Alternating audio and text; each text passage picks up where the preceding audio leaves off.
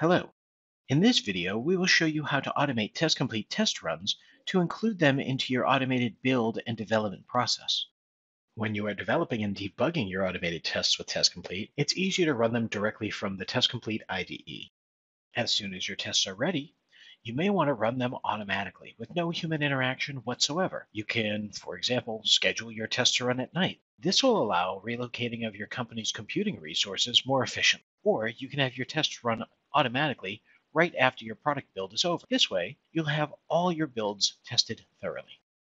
To automate TestComplete test runs, the first thing you need to do is specify a sequence of tests that your TestComplete project will run.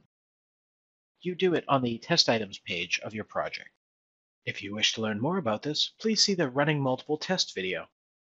When the test sequence is ready, you can automate its run.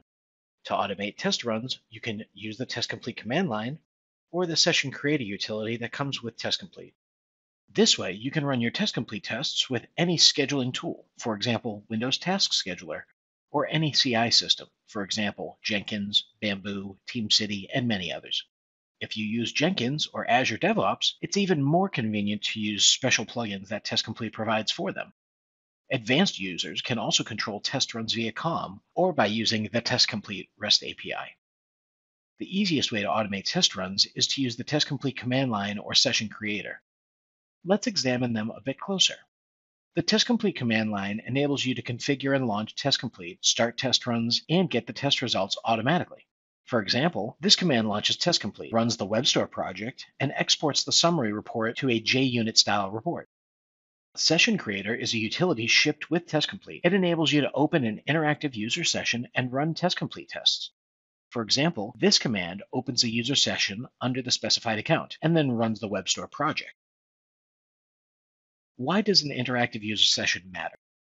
Well, for the test engine to be able to interact with your tested application, perform mouse moves, clicks, hover actions, an interactive user session must be opened on the test workstation. Otherwise, the operating system will not draw the GUI and TestComplete will not be able to simulate user actions over it. Therefore, before you start your automated test runs, you must have an interactive session open. If you use the TestComplete command line to run tests, you will have to open the user session manually, for example, by logging into your test workstation.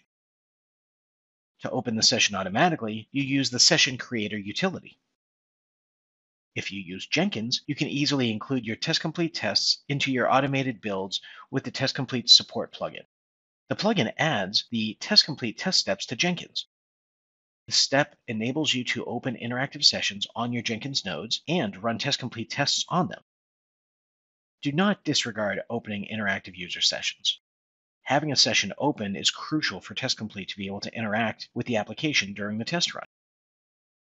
After the test run is over, you can view results in a browser, or you can export test results to a JUnit style report and process the report as you find suitable. To learn more about extended support that TestComplete provides for Jenkins, please watch the dedicated video. You can find the link to it in the video description. Before we conclude our video, we would like to mention TestExecute. It's a lightweight test runner for TestComplete tests. You can use it to run your TestComplete tests on computers where TestComplete is not installed. Automating test runs with TestExecute is no different from automating them with TestComplete.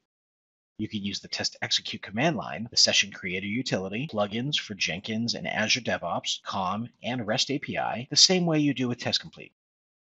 This concludes our overview of automating TestComplete test runs. Thank you for watching.